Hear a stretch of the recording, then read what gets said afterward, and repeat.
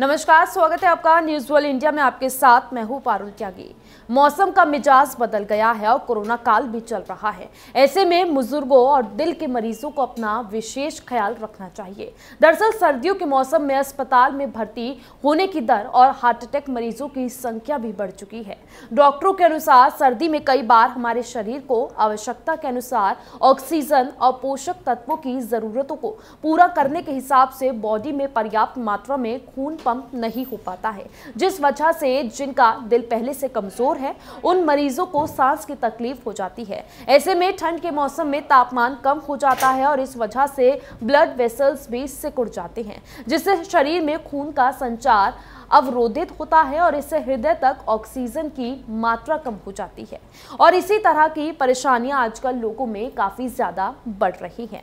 जानिए डॉक्टर अभिषेक श्रीवास्तव से कि कैसे इन तरह की परेशानियों से बचा जा सकता है और क्या कुछ उपाय करने चाहिए। जो भी आपने कहा है, ये काफ़ी हद तक ये बात सही है कि ठंड का मौसम आने पर ये सब दिक्कतें जो है लोगों में होती हैं।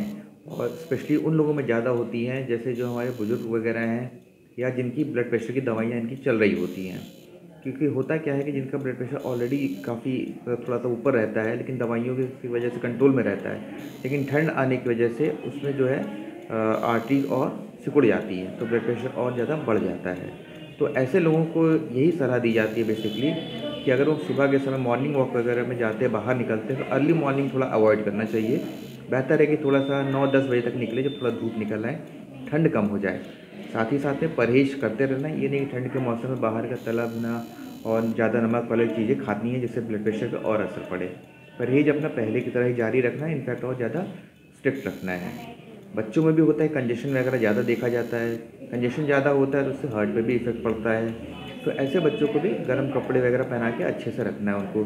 मोजा, टोपी जो छोटे बच्चे हैं स्पेशली उनको मोजा, टोपी पहना के रखना है। जो तुरंत पैदा हुए बच्चे हैं, उनको माँ के शरीर से सटा के रखना है ताकि उनसे भी उनको गर्मी मिलती रहे।